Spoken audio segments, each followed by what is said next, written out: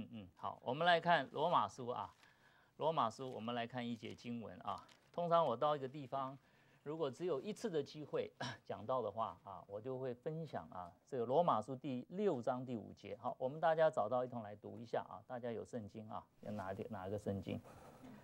还六章第五节，罗马书六章第五节啊，这是一个非常重要的一节经文啊，我们一同来读一下哈，请读。我们若在他死的形状上与他联合，也要在他复活的形状上与他联合。好，我们都来祷告啊！天父，我们感谢你，因为你救我们，不只赐给我们新生命，你说还要给我们更丰盛的生命。也求你来帮助我们，能够在地上，不论是生活、侍奉啊，我们的服饰啊，都能够活出基督的新样式。求你继续来恩待，借着这一节的经文啊，让我们能够啊与主同行，并且能够在我们的地上的生活，能够真正来领受啊基督的大能。我们谢谢主的恩典，在你面前感恩祷告，是奉耶稣基督的圣名，阿门。罗马书第六章第五节啊，通常啊很多的时候我们在受洗的时候会讲，对不对啊？当一个人 洗礼的时候啊，进到的水里啊，就如同与基督同死啊。啊，从水里面出来的时候，起来的时候，我们就会说啊，有象征这个新生的这个样式啊。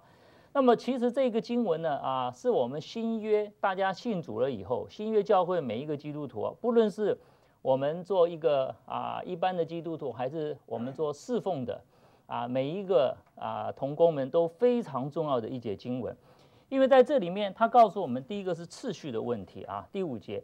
他说：“如果我们在他死的形状上与他联合，也要在他复活的形状上与他联合。”好，那么在第五节的当中啊，讲到这个死啊，然后再讲复活。你发现有一个非常重要的次序：先死后复活啊，这是一个非常重要的啊一个次序。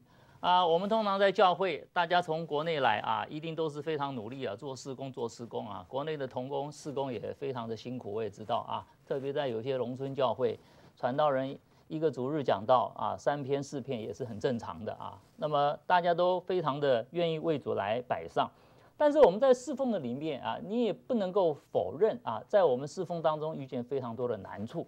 啊，你也会遇见非常多啊，侍奉当中人与人之间的这个关系啊，有的时候会啊不不太和谐啊，侍奉有一些的困难。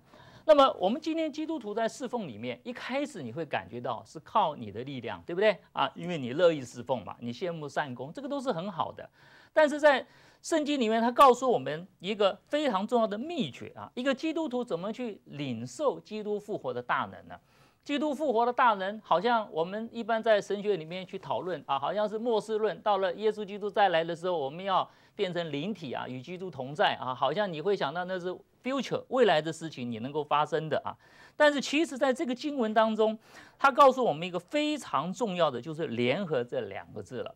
啊，换句话说，他告诉我们每一个基督徒，你不只是未来要与与主永远在一起，你今天从你信主开始，你就可以与耶稣基督联合在一起。那到底要怎么连呢？这也是我们今天呃要来探讨一个非常重要的问题。不论我们将来毕业以后，你的事工做了有多大啊，或是上帝给你啊一个事工看起来也不很大啊，有的大有的小，这个事工大小真的有的时候。啊，不是我们能够能控制的哈，那个是上帝的旨意了哈。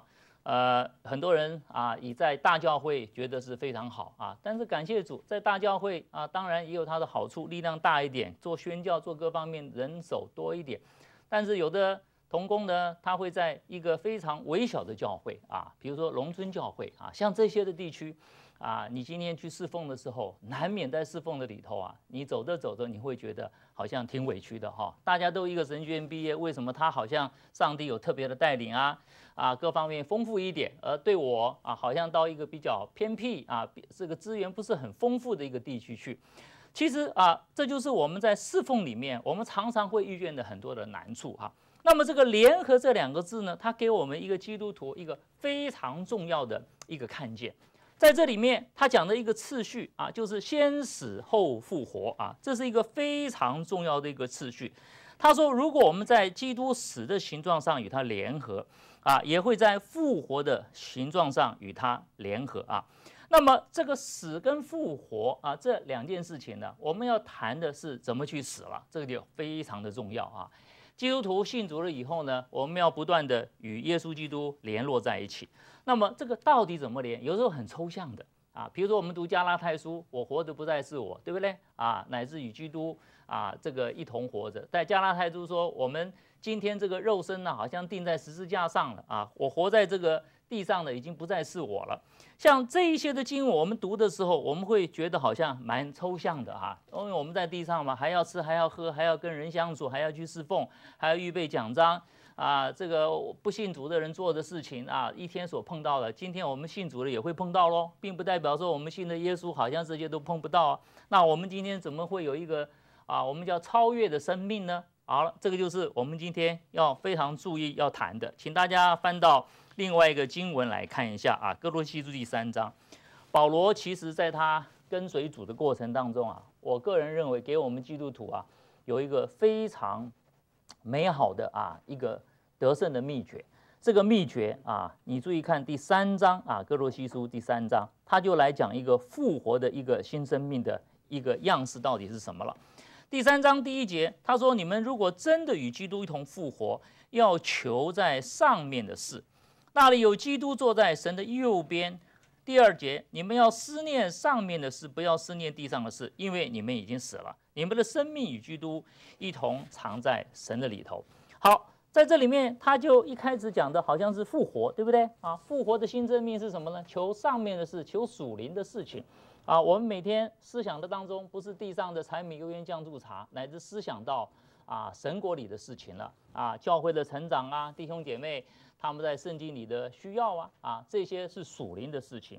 那么同时很重要的，他开始去讲的时候呢，到了第三节啊，他开始讲一个重点。他说：“因为你们已经死了，你们的生命与基督是一同藏在神里头。所以你发现一个复活的新生命啊，就是要能够先学习这个死啊。如果我们今天侍奉啊。”啊，也坦白讲，在美国啊，教会不同的教会不同的这个啊待遇啊，这个美国独立教会很多，跟中国大陆是一样的啊。如果今天在中国大陆侍奉啊，你要看在南边跟北边了，又有不同了，对不对啊？大城市的教会会比较好一点。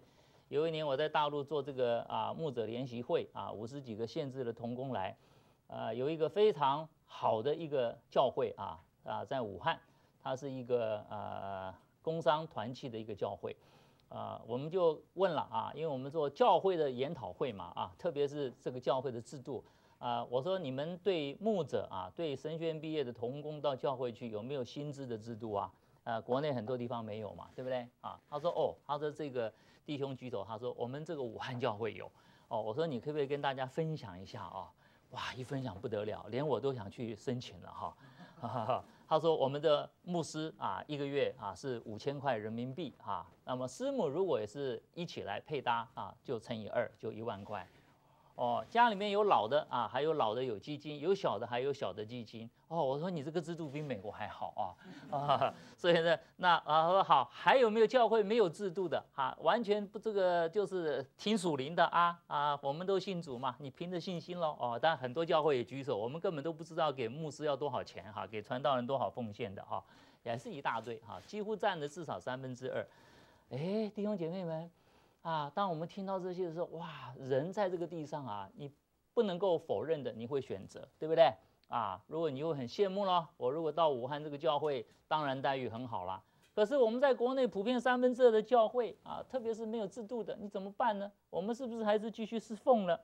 好了，所以今天啊，我们就说了一个人哈，其实在侍奉的里头啊，不论你的环境是什么，环境是经常会改变的，环境常常会改变。我们如果基督徒的侍奉，我们是跟着环境走的话，你不但没有办法享受那个基督复活的大能，事实上，坦白讲，连基督的那个喜乐你都不会有的，懂我意思吧？因为什么？因为你的比较是跟地上在比，啊，你是跟人在比，啊，各位啊，我们坐在这里这么多同学啊，总有人讲到讲的很好的，上来就是滔滔不绝，对不对？啊，有条有理的讲得非常好，总有人是非常努力，上来紧张的。不知道怎么讲啊，总是没办法的啊。每个人恩赐不同，你如果在教会当中侍奉，你要比恩赐，那对不起，你不会快乐的，因为人外有人，天外有天呐，是不是？你如果要比才干，哇，那真的很有才干的人大有人在，特别在美国啊，我们的执事长老，哇，这个有才干的太多了，你不能比才干的，比才干的话，说良心话，我们自己就丧失了这个啊信心的啊。所以今天我们在耶稣基督里头啊，非常重要的一件事情啊，我们不是联合在地上的人事物。如果你的焦点是联合在人事物的话，我们基督徒信心的道路，说良心话，一天都难走。但是你说啊，那牧师啊，我们还会遇见难处啊。我今天如果到一个小教会去，那我到底怎么样能够保持一个美好的、喜乐的一个态度呢？好，那就就是我跟大家来分享的第三个非常重要的经文了啊，请看到腓立比书了啊，我们一同来看一看。在腓立比书的当中啊，我们往前面翻一章啊，腓立比书第四章，使徒保罗哈，他在监狱里面的时候啊，我们都知道这是监狱书信呐，他就特别啊讲到一个非常重要，他跟基督之间的一个关系啊，大家都来看一下第四章，你来看一下第十一节哈，他说啊啊第十节，我靠主大大的喜乐。因为你们思念我的心，如今又发生。你们向来就思念我，只是没有得机会。我并不是因缺乏说这个话，我无论在什么境况都可以知足，这是我已经学会的。我知道怎么处卑贱，也知道怎么样处丰富，或饱足，或饥饿，或有余，或缺乏，随时随在，我都得了秘诀。我靠着那加给我力量的，凡事都能做。好，弟兄姐妹们。啊，这边特别讲到保罗当时他的一个啊非常重要的一个心态了。他说了，我在什么情况都可以知足啊。保罗讲这个知足啊很不容易的，哦，因为当时他是被囚在罗马，对不对？大家都知道啊，他是他也没被定罪，但他也不得自由。大家读《使徒行传》的时候，最后那两节，你知道保罗是被囚在罗马有两年之久啊。啊，两年是为了一个宗教的官司啊，上告到罗马皇帝那里去。但是使徒保罗在这两年的当中，他在写腓立比书的时候，他说我是知足的。这个知足啊，很重要了。他不是指的世上的人所说的啊，我世上人什么叫知足啊？啊，我们中国人讲什么啊？这个高考中中状元了，这个知足了，对不对啊？这个要结婚了，是不是啊？这个要知足了啊？啊，这个五子登科了都知足了哈。他不是讲这个了。按我们今天来讲，哇，找到好工作，哇，我在 Google 工作了，我知足了啊！好，我在 Facebook 工作，我知足了。哇，我到一个好大的教会啊，三千人的教会，五万人的哦，五万人的系统，哇，我知足了。他都不是讲这个，他的知足在这里面，他讲的是什么样的情况都可以知足。换句话说，他的知足不是靠地上的这些的条件啊，这个是我们做传道人啊非常重要的一个啊一个学习哈。他说。我学会了一点啊，我知道怎么样处卑贱。今天上帝给我的物资不丰富啊，给我是一个非常啊不起眼的一个啊地位啊一个身份。我今天啊，神给我一个丰富啊，我是能够丰富的，有饱足的。我是饥饿或是有余或缺乏的，不论是好，不论是不好，我都啊可以。能够知足哇，弟兄姐妹，你就发现保罗在这里讲的是什么？很简单，他在耶稣基督里头，他得到真正的知足。至于外在的环境里头，当保罗三次旅行布道，大家都晓得啊，神很用他的啊，那么 使得许多的地区啊能够建立教会啊。从这方面来讲呢，保罗是不是很知足呢？我想很知足啊。如果各位在教会做事工，建立了很多教会，你一定会很知足嘛，对不对啊？我记得有一年呢，很早了，十多年前，我到马来西亚去侍奉啊，啊，有一个非常有恩赐的牧者啊，他是一个开荒牧师啊，一个人开了十几间教会，哇，这个这个是真的有这个恩赐的哈，不是一两间呐啊，呃，但是他的师母啊，有一天呢，在这个路上骑脚踏车被车子撞了，过世了啊，被主接走了，所以他从那个时候就整个啊心情就崩溃的。因为他在他的脑袋里面，他告诉我，他说：“啊，张牧师，我在想一个问题，我为主开荒建立了十几间教会，为什么上帝不保守我的师母啊？就是为了这么一个问题。这个问题当然也可以说是神学问题了啊啊苦难的问题嘛啊，他就说我就垮了，所以我整个人就没劲了，所以我就等于是跟上帝告假了，停工了啊啊！但是啊那天我刚好记得是讲创世纪啊，讲这个摩西五经哈，我就讲到亚伯拉罕要进到迦南地之前，他的父亲呐，他拉不是也死在哈兰吗？对不对？啊，他的父亲死在哈兰，这也我想这是对亚伯拉罕信仰的一个很大的挑战呐。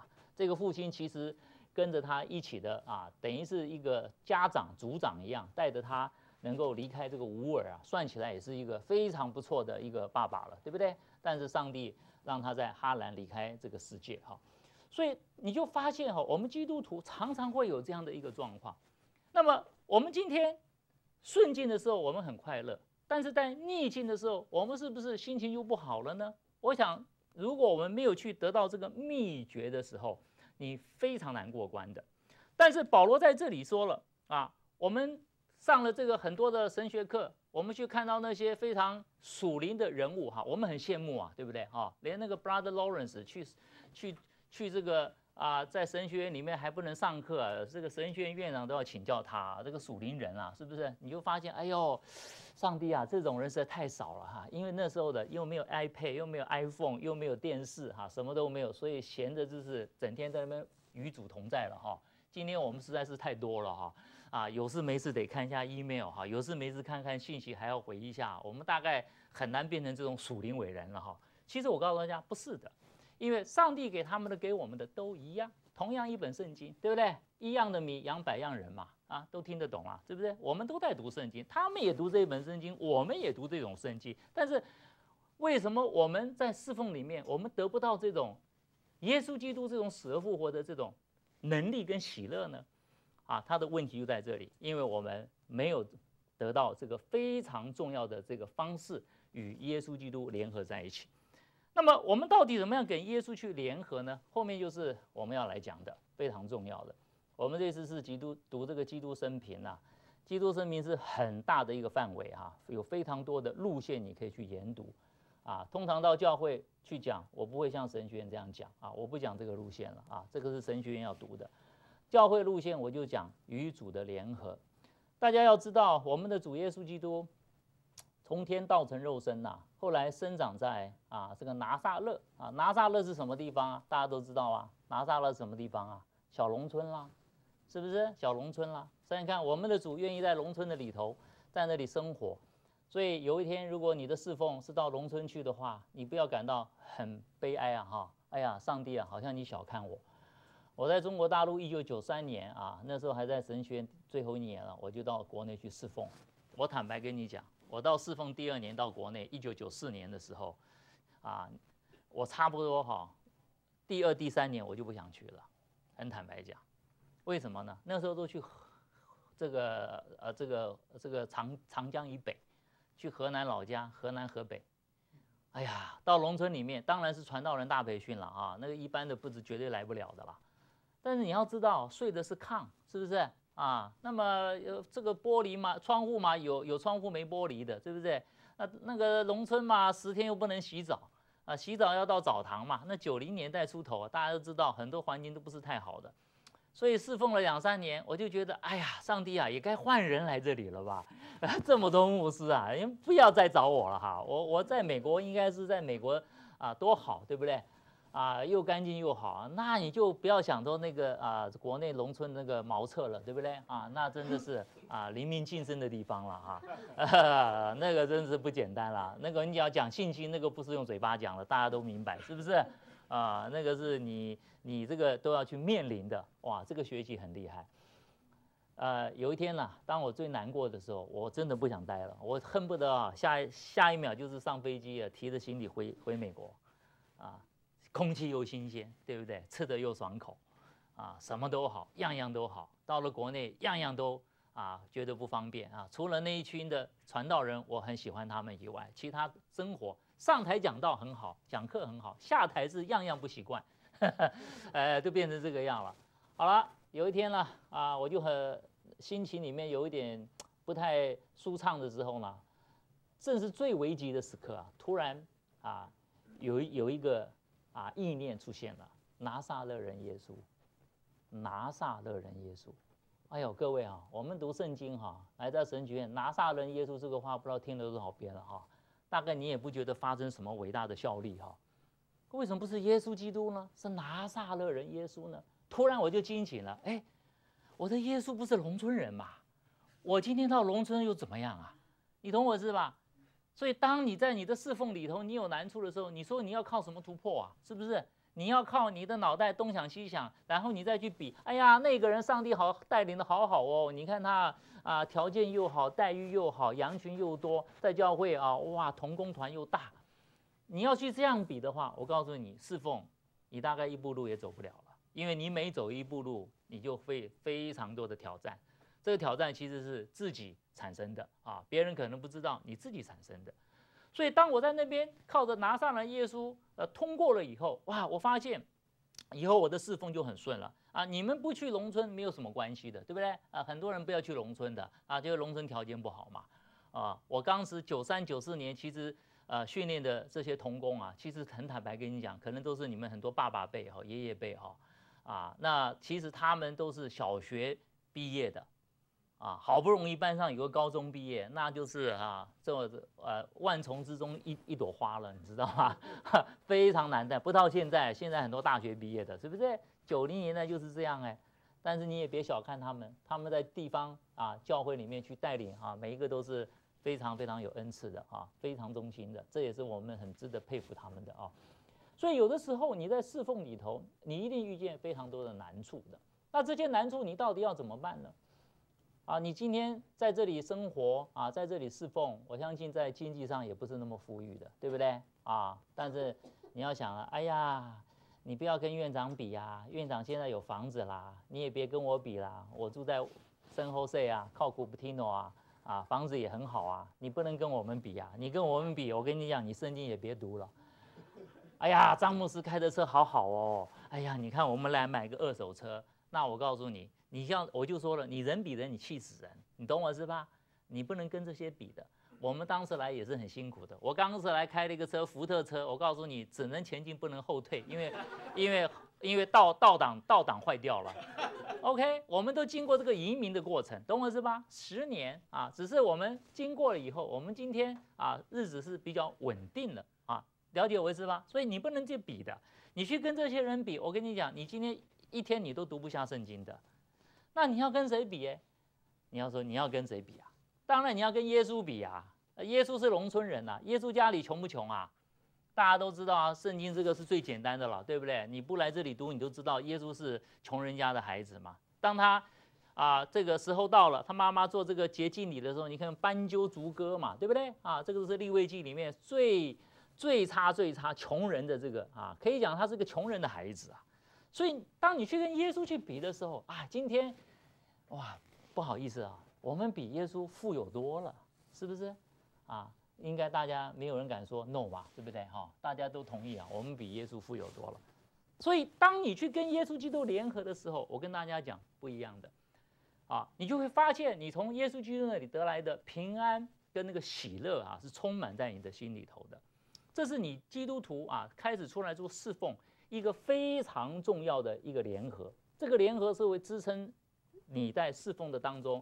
我说了，顺境也好，逆境也好，它不会改变你的心智，懂不懂我意思？为什么有的人侍奉到一半就改变心智了呢？啊，我以前在基督公司院读的时候，我一个同班同学啊，呃，从第一天进去就认识了，因为他是一个肝脏移植的外科手术啊。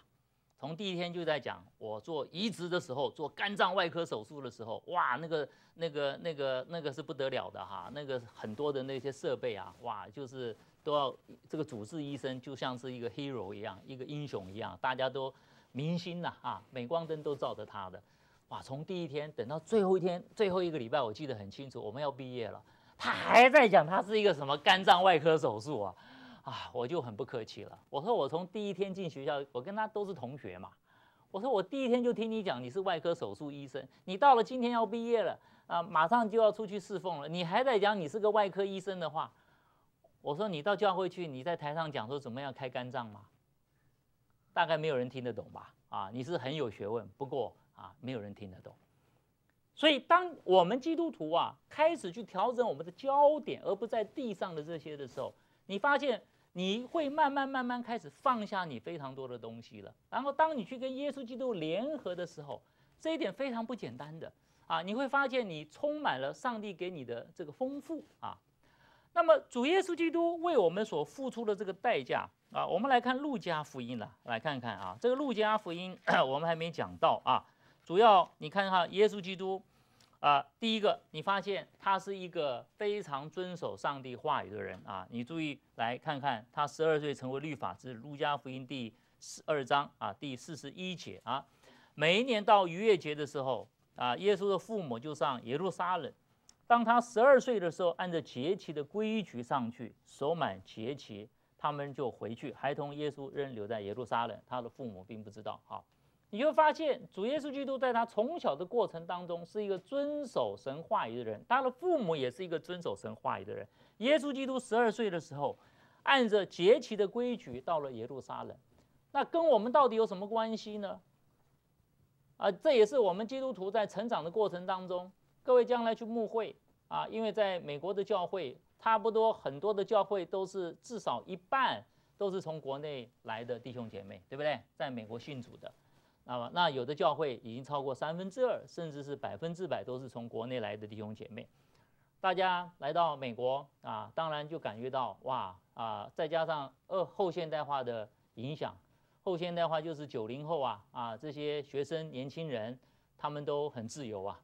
啊，所以来到教会，今天的美国的教会也非常难建立一个非常 discipline、非常有纪律的教会了，非常非常难的。八零年代、九零年代，只要牧师在上面讲圣经、讲耶稣、讲十字架，基本大家都没问题，对不对？大家对牧师很尊重。现在不是了，啊，现在你说了要会讲圣经，不会讲那这绝对不行的。你下台，你还要跟人相处，对不对？啊，你还要去做辅导。啊，你还要啊，能够啊带领教会啊，能够啊走出一个意向啊，更重要的能够带领教会哈，你能够找到奉献是更好啊！哇，现在现在做牧师啊是非常多的条件在你的身上了哈。但弟兄姐妹们，为什么会产生这种现象？因为教会现在在二十一世纪其实越来越越难维持这个纪律了。为什么呢？很简单啊，因为我们信了耶稣以后得以自由。可是现在很多人他不愿意好好读圣经，所以在圣经上面很多的教导啊不愿意去听的，所以造成教会的成长其实是非常非常不容易的啊。我们在美国久了，教会其实出现的冲突非常非常之多为什么？因为还是一个原因，第一个是神的话根基不是不是够，第二个就是大家得以自由啊，不愿意遵守教会的规定。但是你回到耶稣基督的里头，你去看。耶稣基督十二岁成为律法之子，他按着节期的规矩上去。耶稣是神的儿子，创造宇宙万物的大主宰，他还乐意的来到这个地上，啊，遵守啊旧约的这些的规矩。所以你去读这些经文的时候，你就知道耶稣其实就是我们最好的一个榜样。啊，各位将来要到教会去侍奉，教会也有非常多的规矩的啊。这个不论是你喜欢你不喜欢啊，你要不要遵守呢？啊，你还是要遵守啊！虽然你是传道人，你是牧师，你还是要遵守的。为什么？因为耶稣他也遵守的啊，这个规矩非常的重要。那么很多的时候，你就会发现啊，在基督的生平里头啊，有一些是让我们去学习的时候，帮助我们在侍奉的里头，你跟他联合在一起，能够帮助你度过侍奉当中的最黑暗的这个时刻。啊，有的时候在侍奉一不小心会遇见非常多的难处了啊！这个难处有的时候啊是你没有办法去解释的，但是你就发现，耶稣基督给我们一个榜样，克西马尼园。当耶稣要钉十字架的时候，希伯来书说他在客西马尼园大声流泪祷告，对不对啊？那么你就发现在这个十字架的面前，耶稣基督他知道他要为。啊，人类为我们这一群相信的人要钉在十字架上，他是有征战的，他不是没有征战的啊。在希伯来书里面，你可以看得到啊，这里面的描写。当他最需要的时候，你发现他的童工在干什么啊？耶稣的门徒在干什么？睡觉，对不对？啊，弟兄姐妹们，有一天你出去侍奉啊，你非常忠心，你非常忙碌啊。有一天你看到你那些童工。啊，漫不占心啊，也无所谓，对不对？本来跟你讲好一起来配搭，时候到了，一个电话就来了。我现在家里很忙，我现在事情很忙，我现在没办法来。我看大家一般的人反应也是气得七窍生烟了，啊，大概你对这些人也要放弃了，对不对？哈，很肯定的嘛，哈。如果在中国大陆就比较有权柄了，牧师就说啊，以后这个事你就不必做了啊。另外呢，就是你也永远也别做了，啊，很简单啊。在国，在美国你就不能讲这种话了，对不对？在美国你还要跟他还要跟他说好话啊，我们很理解哈，下次继续努力哈。哎，又倒过来，那环境不一样嘛，是不是？所以难怪很多人读完圣经回中国去啊，中国比较好侍奉，因为比较有权柄哈。但是问题在这里，不论你在中国，你在美国，你今天还是会受影响啊，是不是？你在你在中国，你可以讲直接的话，你这样是不可以的，你还不够资格侍奉啊。所以这个侍奉，我们现在执事会，我们现在同工团决议给你停掉，甚至牧师就说给你停掉了，没问题的啊。你不高兴，你不高兴是你的事啊，对不对？因为我们觉得你这样的话，教会没办法给你配搭。在美国你不可以这样讲，可是问题在这里了。我们今天在做侍奉，如果你碰到这种状况，会影响到你跟同工之间的关系啊，甚至会影响到你侍奉的这个啊这个冲劲呢啊，这个这个时候呢怎么办呢？从另一种角度看的话，你就可以知道耶稣基督在克西马尼园他所经历的，当他在整个侍奉三年半的当中，他最需要的。他的同工来为他一起来祷告的，进行祷告的啊，其实就是定十字架这件事情。但弟兄姐妹们，他最钟爱的几个门徒都在那里睡觉。所以，当我们如果经历到侍奉当中的这一种的状况的时候，第一个你不要不高兴，第二个你要感恩。你说感谢主，我终于读懂了克西马尼园了，我终于知道克西马尼园耶稣基督为我所承受的，因为我们的主耶稣。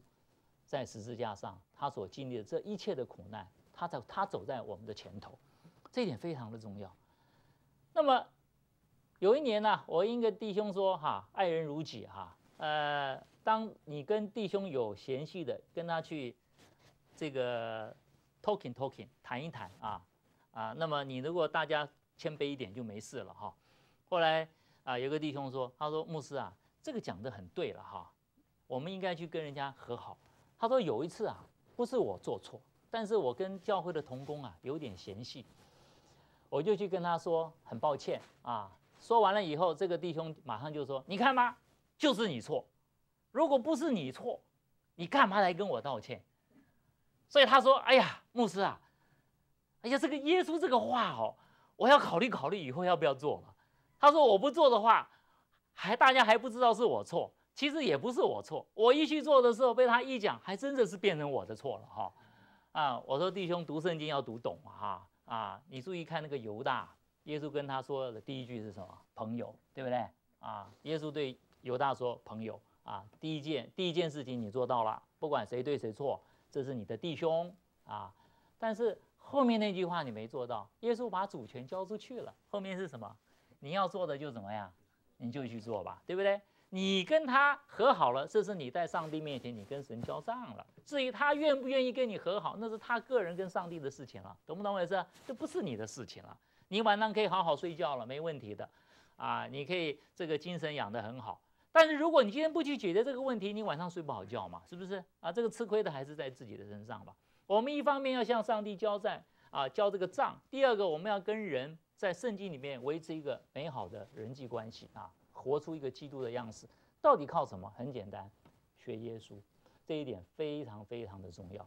所以，当我们回到耶稣基督里头去联合的时候，我可以告诉大家，彼得前书啊，一句话，来，最后一一节经文给你们了，请看到彼得前书第二章第二十四节啊，请大家一同看。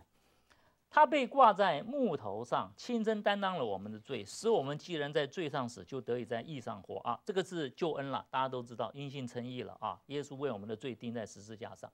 但是后面这一小节的经文，因他受的鞭伤，你们便得了什么医治？好了，通常这个医治，呃，一般人他不太会解释了，对不对啊？受了鞭伤得医治是什么？耶稣为我们受鞭伤，表示他遭受的苦难。让我们得以医治。其实这后面这个部分，就是我们基督徒信主了以后，在我们人生的路上，不论是家庭生活侍奉，在魂的这个部分，我们都有感觉嘛，对不对？魂的部分嘛，哈，啊，你会有高兴的时刻，你会有难处的时刻。哎，你靠着耶稣基督为我们受的苦难，我们可以得到医治。哇，很不容易的啊。但是其实也很容易。为什么很容易？因为你连在耶稣的里头。当你不顺利的时候，打开基督生平，寻找一段的经文适合你，啊，这个经文可能就是给你最大的一个安慰啊。当你啊感觉到你没有办法去诉说你的内心的软弱的时候，你回到耶稣基督生平里头，耶稣已经为你付出了一个代价了，啊，你从耶稣基督里的代价里头，你可以得到非常大的一个安慰。所以啊，当我们去研究基督生平的时候，其实这是一个非常重要的一条路线，与主的联合。啊，今天呢，啊，很多的啊，我到马来西亚去侍奉哈，东南亚侍奉，有非常多的小孩子啊，他从小因为父母关系不好啊，所以有离婚的，有被遗弃的。他现在长大了，信耶稣了，你跟他讲神爱你，他说我知道神爱我，但是他马上一个问题来了，我的爸妈妈为什么不爱我，对不对？这个你很难去解决的，这是在他魂的里头的这个部分，他从小有个缺陷，啊，有一个缺陷。那么这个缺陷到底怎么弥补呢？我很坦白跟你讲，我们用什么方法都没办法弥补，因为这是他从小的经历嘛，是不是？他现在长大了，是一个大人了，他也不可能再重回一个小孩子的状况了。那到底怎么去处理呢？啊，我们就要用耶稣在十字架上的一句非常重要的话，这句话大家都知道：我的神，我的神，为什么？离弃我，对了，原来耶稣基督为我们这一群罪人，在十字架上与父神有一段的离弃的关系，分开的关系。所以，当我们回到耶稣基督里头，我们用这句话来安慰他。同时，还有的小孩子是什么？从小家里情况不好，跟着老爸老妈做苦工啊，失去了孩子的那个童年的机会，那个欢乐的机会。哇，那怎么办呢？也要靠着耶稣啊！你靠着什么办法？你说耶稣爱你啦，我们爱你。他也懂啊，啊，这个都是很表面的啦，对不对？但是在他的心灵的里头，他受到这个压伤，他怎么样得安慰呢？一样的，你要靠着耶稣基督了，你不靠耶稣没办法了。我们看马可福音第六章啊，最后来看看就停了啊。马可福音第六章，你注意看，当耶稣基督开始出来传道，在他的老家拿撒勒，他到会堂里头啊，开始去传讲。在马可福音第六章，我们一同看第二节，到了安息日。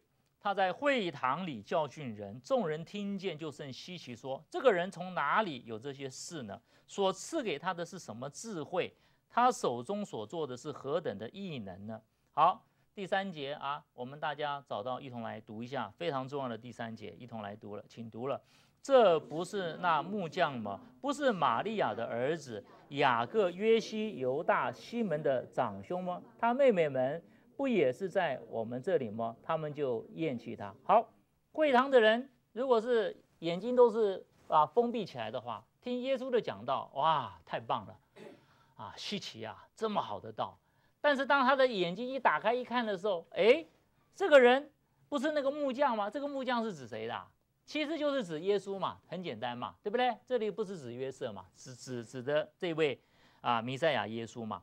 所以你从会堂里面对耶稣的身份的认证，他们认定耶稣是一个什么木匠？很简单，所以可见耶稣是木匠，绝对不是，绝对不是只是一个啊嘴巴讲讲，他一定在他的家乡里面做过木匠这个工作的啊，在他没有正式出来传道之前，所以你就发现啊，这位耶稣基督他在他的家乡，在他没有正式出来传道之前呢，他其实是。也肩负了家庭的生活，哎啊，弟兄姐妹，你就知道，因为他是长兄嘛，等于是在这个家庭当中算是长兄，他当然是圣灵怀孕了，对不对？但是以地上这个家庭来讲，他是一个长兄，他负责这些弟弟妹妹们很多的家庭的生活的需要的，所以你就从这里你可以得到非常大的安慰啊。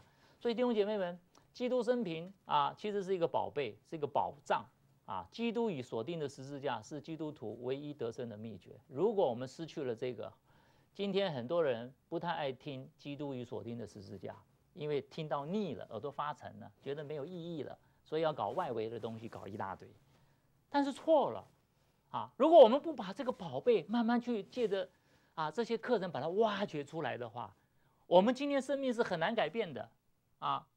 如果我们今天能够连接在耶稣基督里头，你发现你在任何环境里头，你都是全世界最喜乐啊、最幸福的一个人。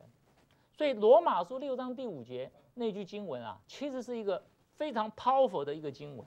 这个经文不只是用在受洗里面，我们可以讲，我们更可以实际的用在我们啊弟兄姐妹的身上，在我们的侍奉里头啊，更是可以用。所以你的难处都是上帝啊都知道的，主都知道的。但是你难处要怎么过关呢？啊，我们礼拜啊礼拜这个二特别去讲这个课程啊，基督徒的属灵成长不是一个曲线呐，是一个阶梯呀。啊，你这个难处过了，后面还有一个难处了，对不对？跟雅各是一样的嘛。一开始是拉班嘛，再来是他的哥哥嘛，哈，跟以扫认罪嘛，啊，再来就是他爱的离开了，是不是？啊，拉结难产而死，剩下一个妻两个妾，啊，按照我们所理解的，应该都不是他最爱的啦，这是肯定的啦，啊，其中一个妾还跟老大刘辩同寝，对不对？啊，你看看到最后他还要去爱这三个不爱的人，还要去爱这些调皮捣蛋的孩子。啊，爱的孩子也不见了，约瑟下了埃及了。你看看到最后，灵命的最高峰，以色列，他来带领这个家庭。说句实在话，这个家庭从孩子到他的其他的妾，都不是他最爱的，最爱的都不见了。哇，弟兄姐妹，当我们还做罪人的时候，我们的耶稣基督就为我们来到这个地上，为我们道成肉身。这就是神性的爱。基督徒要能够活到基督徒基督的这个。power 能力哈啊，这些我们需要与他联合，靠自己不可以的，先死后复活，这是一个圣经非常重要的一个教导啊，所以我们常常要靠着圣经的经文啊，先 build up 你自己，建造你自己，你自己建造健康了，教会就自然健康，你的家庭、你的生活就自然健康。我们一同来祷告。